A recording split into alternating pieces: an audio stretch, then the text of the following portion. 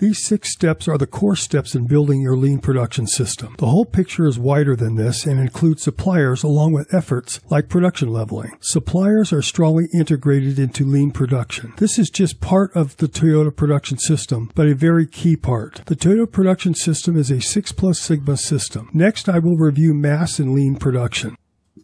I will give you a short history of mass production to put all this into context. Prior to mass production, there was craft production. A part would come into the factory and a craftsman would fashion the part to fit its purpose. Mass production was enabled when parts coming into the factory met variation tolerance requirements and no longer needed to be crafted. This decreased costs because companies did not have to hire craftsmen to work on each part. Rather, you could hire an assembler to put the part in its place. The assembly line was born. Mass production production is an efficient way of producing a large quantity of the same thing. It is a tried and true methodology. Everyone in the company goes as fast as possible. Mass production is not synchronized and produces lots of inventory in unpredictable places. Lean production lowers costs in two significant areas. One, it significantly lowers inventory because you make one product at a time based on a customer order. And two, you don't need to incur the cost of large storage warehouses. In general, lean production production lowers your operational costs. It also enables just-in-time deliveries, again lowering inventory costs. It gives you the ability to adapt to changing marketplaces. When sales go up, your production goes up, and when sales go down, your production goes down. This makes manufacturing much more nimble. This new capability comes with challenges. Workers will have to change how they operate, and the whole manufacturing plant becomes synchronized. A lean production system is less able to accommodate some errors. Next, let's first do a high level overview of the six steps to lean production before I go into more detail.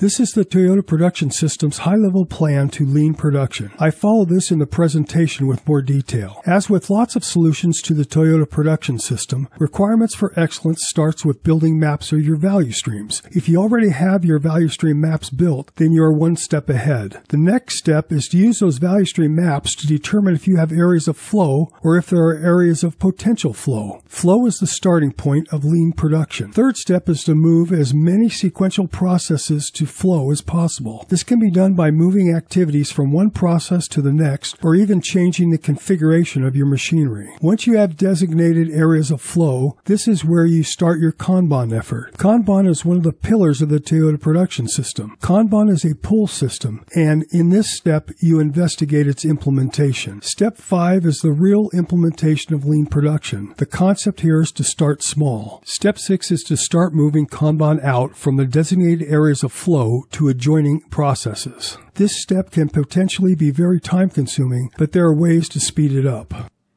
I will not spend a lot of time on value streams since most manufacturers already have mapped value streams. A value stream includes every process from customer order to delivery. It cuts across departments and gives you profound knowledge of the performance of your system. It's where you start your improvement efforts and it comes with its own set of metrics. Each process is labeled with the total time through the process, the time during the process in which value is added, and process defect rate or the percentage of defects produced.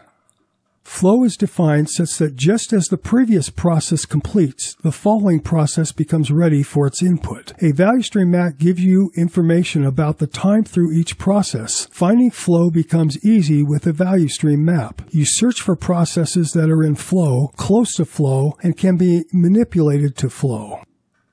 The value stream maps pointed to areas of flow and potential flow. Now you are ready to maximize the number of flow processes. Where you can, move activities between processes to balance the process times. Also, when machines are involved, it may be possible to rearrange them to attain two possible benefits. One, create the situation where an employee handles more than one machine, and two, create flow by machine rearrangement. Here are a few reasons how come Toyota started their Kanban effort in areas of flow. When processes are in flow, they are robust to change and less likely to be negatively impacted when you're first starting the Kanban effort.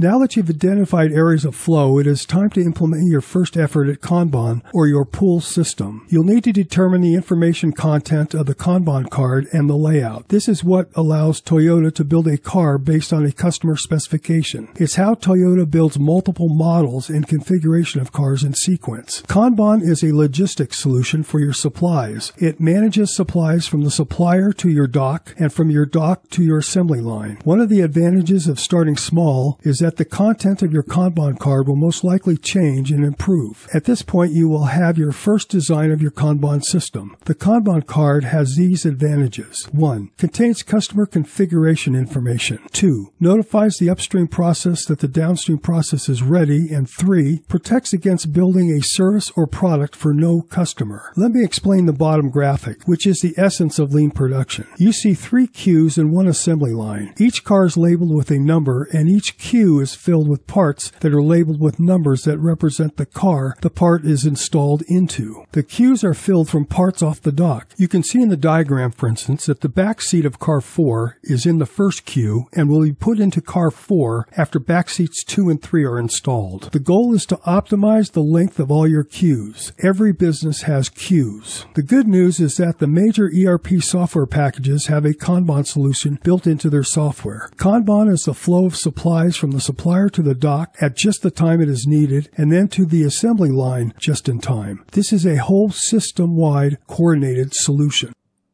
Your implementation of lean production starts at this point. You have previously executed two prerequisites. The first is that you have determined areas of flow to start with, and secondly, you have settled on a Kanban system of which to manage it. Your prototype build of lean production allows you to test out the solution before it is expanded. At this point, all the groundwork has been done and it is time to propagate the lean production system to the rest of manufacturing. You have completed all the groundwork and have learned from prototyping your system what you need to do to propagate the solution. This may be a good time to start conversations with your suppliers and ascertain their ability to deliver just in time. Your critical suppliers may require the help of some of your experts to get your program running. You may simply need to change suppliers in some cases. As you go through the process of building your lean production system, you will start to observe some improved manufacturing capabilities. However, the largest benefit comes as every process is in the Kanban system. You will then have a lean production system. The decrease in inventory will not only lessen the cost of extra inventory, but will allow you to start investigating removing costly warehouses. Your manufacturing system will become more flexible in the variation of products you can supply to your customers. This will increase the demand for your products. This Kanban pull solution is a system, and a major part of the system is lean production. There are other components that I have not discussed that are required. These components are not part of the core solution. I discuss this more in the manufacturing plan, which includes 69 high level steps at my website, www.buildyourtps.com. Toyota's Kanban just-in-time system means that Toyota receives all parts necessary to build a car every two hours. In other words, they do not pay for more than two hours of inventory at a time. By the way, a car is built from 30,000 parts. It is possible to change the velocity of your adoption of the Toyota production system tools, but not the order. For manufacturers, I have a high-level plan on my website that includes at least 69 higher-level steps. The sooner you start, the sooner benefits start accruing.